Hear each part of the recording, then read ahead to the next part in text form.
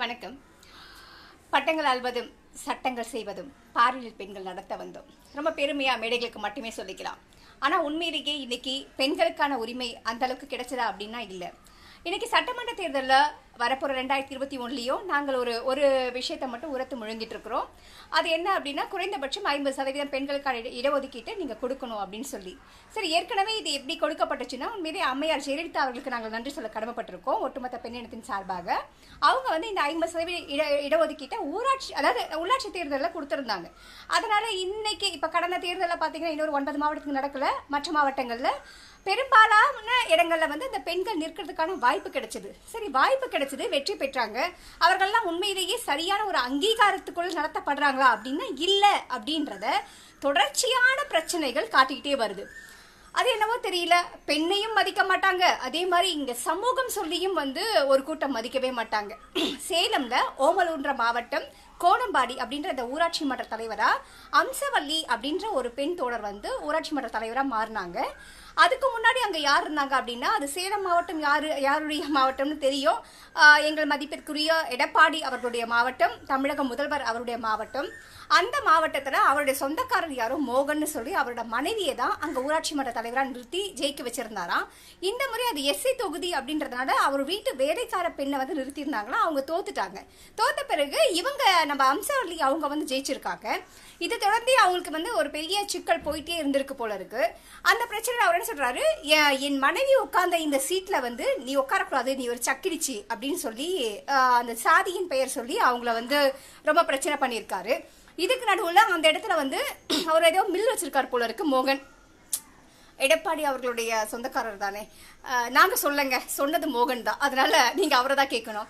Mill வச்சிருக்கிறாரு. அந்த மில்லுக்கு வந்து மக்களுக்கு போக வேண்டிய தண்ணீரை வந்து அவர் அவரோட மில்லுக்கு எடுத்திருக்கார் போல இருக்கு. இந்த விஷயம் நம்ம ஊராட்சி மன்ற தலைவர் அம்சவல்லி அவங்களுடைய பார்வைக்கு போய் அவங்க உடனே அந்த பிடிஓ அந்த மாதிரி அதிகாரிகள்லாம் கூட்டு போயிட்டு இலங்கை தமிழர் வாழும் அந்த முகாமுக்கு தண்ணீரை வந்து திருப்பி விட்டுருக்காங்க. உண்மையிலேயே இதற்காக தமிழ் தேசிய உணர்வாளர்கள் அத்தனை பேரும் எங்கள் அன்பு சகோதரிக்கு நாங்கள் நன்றி சொல்ல கடமைப்பட்டிருக்கோம். ஒரு பெண் சரியாக செயல்பட்டிருக்காருன்றதுக்கு இந்த ஒரு பெரிய விஷயமே உதாரணம். இந்த நேரத்தில் தான் அப்படின்னு பார்த்தீங்கன்னா நம்ம இவங்களோட பிரச்சனை வந்து வேறு விதமாக போயிருக்குது ஏற்கனவே வந்து சாதியின் பேர் சொல்லி இவர்களை ஒடுக்கினவர்கள். அதுக்கடுத்து இந்த இந்த தண்ணீர் பிரச்சனையை வச்சு என்ன பண்ணிருக்காங்க? போய் அடிச்சிருக்கிறாரு. அம்சவல்லியும் அவருடைய கணவர் சதீஷ் அப்படியும் அவரையும் சேர்த்து அடிச்சிருக்காங்க. அதை தொடர்ந்து அடியால வச்சு மிரட்டியிருக்காங்க கொலை செய்வேன் அப்படின்னு சொல்லியிருக்காங்க. இந்த பிரச்சனை வழக்காக மாறி இருக்குது இதில் பாதிக்கப்பட்டவர்கள் இவர்கள் இவர்கள் மீது ஏனோ காவல்துறை வழக்கு போட்டிருக்குது. இதை தொடர்ந்து இப்பவும் பார்த்தீங்கன்னா அந்த கொலை மன்னிக்கணும். இதைத் தொடர்ந்து இப்பவும் பார்த்தீங்கன்னா இந்த கொலை மிரட்டல்கள் தொடர்ந்துகிட்டே இருந்திருக்கு போல இருக்கு. ஸோ இதுக்காக நம்ம தோடர் அவங்க அம்சவள்ளி வந்து ரொம்ப கண்ணீரோட ஒரு வீடியோ பதிவு ஒன்று போட்டிருந்தாங்க. அதை நானும் பார்த்தேன். அது யூடியூப்லேயோ இருக்கு. நீங்களும் அதை சர்ச் பண்ணி பார்க்கலாம்.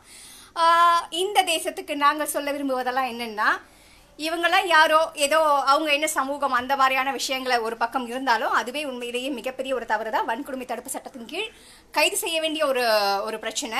அதை அதை விட இன்னும் கொஞ்சம் அதிகமாகவே சொல்கிறோம் இந்த தேசத்தில் சரிபாதியாக இருக்கும் பெண்ணினத்தின் சார்பாக நாங்கள் எங்கள் கண்டனத்தை பதிவு செய்கிறோம் மாவட்ட ஆட்சியார் இது குறி இது குறித்து என்ன பண்ணாரு தெரியல நான் நான் வந்து கலெக்டர் ஆஃபீஸ் எதிர்க்க தீக்குளிப்பேன்னு சொல்கிற அளவுக்கு ஒரு பெண்ணை வந்து நோகடிச்சிருக்காங்கன்னா இது என்ன நாடா இல்லை வேற நாடா அப்படின்னு தெரியல. தமிழக முதல்வர் அவருடைய பார்வைக்கு நாங்கள் கொண்டு செல்ல ஆசைப்படுறோம் இந்த விஷயத்த. உங்களுடைய மாவட்டத்தில் உங்கள் பெயரை சொல்லி ஒருத்தர் இப்படிலாம் பண்ணிக்கிட்டு இருக்காரு. ஏற்கனவே இந்த பிஜேபி சார்ந்த உமா ஆனந்த் இந்த சிவகுமார் ஒரு நடிகர் சிவகுமாரை சொல்லும்போது அவரும் பழனிசாமி கவுண்டர் நீங்களும் பழனிசாமி கவுண்டர் சொன்னாங்க. உங்களை நாங்கள் இதுவரைக்கும் கவுண்டர் சமூகத்தை சார்ந்த ஒருத்தராக பார்க்கல. தமிழகத்தின் முதல்வராக தான் பார்க்குறோம். நீங்கள் அதையும் பார்த்து அதுக்கும் பெரிய மறுப்பெல்லாம் எதுவும் நீங்கள் கொடுக்கல. அதே மாதிரி இங்கேயும் கவுண்டர் சார்ந்த சமூகத்தை சார்ந்த இந்த மோகன் வந்து ஒரு தாழ்த்தப்பட்ட வகுப்பை சார்ந்த ஒரு பெண்ணை அதுவும் ஒரு பெண்ணை வந்து இவ்வளோலாம் பண்ணுவாங்க இதையும் நீங்கள் கண்டுக்கல அப்படின்னா நாங்கள் அப்போ ஒரு முடிவுக்கு வர வேண்டியிருக்கோம்னு நினைக்கிறேன். ஒருவேளை நீங்க கவுண்டர் சமூகத்தின் வாக்குகளை மட்டுமே வாங்கி அடுத்த முறை நீங்க வேற ஏதாவது ஒரு போட்டிடுவீங்களோ நீங்கள் அவர்களுக்கு மட்டுமே உரித்தானவர்களோ ஒட்டுமொத்த தமிழக மக்களுக்கும் நீங்கள் சொந்தமானவர் இல்லையோ அப்படின்ற ஒரு சின்ன சந்தேகம் எங்களுக்கு எழும்புது. அதற்கான விளக்கத்தை தமிழக முதல்வர் அவர்களே கொடுப்பார் அப்படின்னு எதிர்பார்க்கிறோம். காரணம் இது உங்க மாவட்டத்தில் நடக்கிற பிரச்சனை வேற. அதனால இதை நீங்கள் ஒருவேளை நீங்க இது சரி செய்யலை அப்படின்னா நாங்கள் அப்படிதான் எடுத்துக்க வேண்டியிருக்கோம். ஒருவேளை எங்கள் எங்கள் எடப்பாடி பின்னாடி அவர்கள் வந்து கவுண்டர் சமூகத்துக்கு மட்டும்தான் செய்வார் போல இருக்கு அப்படின்னு எடுத்துக்க வேண்டியிருக்கும்.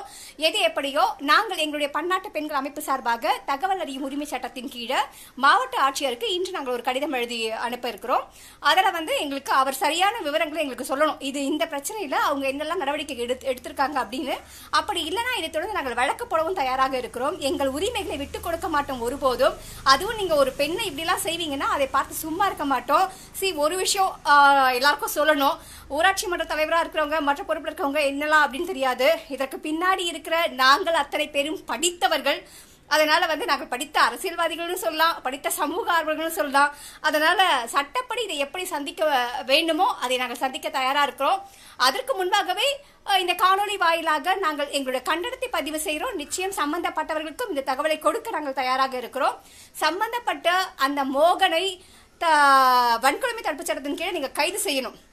அதே நேரத்தில் இது குறித்து சரியான ஒரு ஒரு விசாரணை நடத்தி சம்பந்தப்பட்டவங்க வேறு யார் இருந்தாலும் அவர்களையும் நீங்கள் கைது செய்து இந்த பிரச்சனையை நீங்கள் முடிக்கணும்.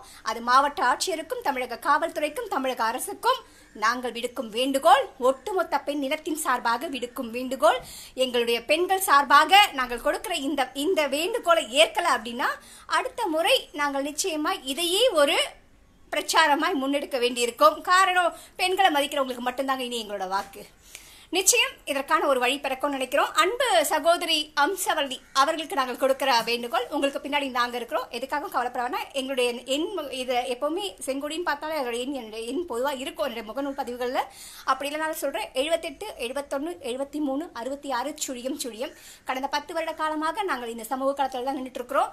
ஒரு மிகப்பெரிய ஒரு அமைப்பு சமூக ஆர்வலர்கள் அத்தனை பேரையும் நாங்கள் இணைச்சி தான் பயணிச்சுட்டு இருக்கோம். அதனால் உங்களுக்கு எந்த உதவி தேவைப்பட்டாலும் தயவாக எங்களை அழையுங்கள். நன்றி.